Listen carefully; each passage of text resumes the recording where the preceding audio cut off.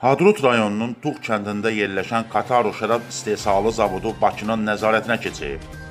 Bu barədə Sputnik Armeniyaya Ermənistanın Milli Şərab Mərkəzinin prezidenti Avak Arutunyan məlumat verib.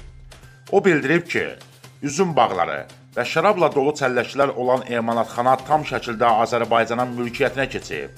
İlkin məlumatlara görə istehsalçıya dəyən ziyan miqdarı 1 milyon dollardan çoxdur. Arutunyan qeyd edib ki, indi hamı şokdadır.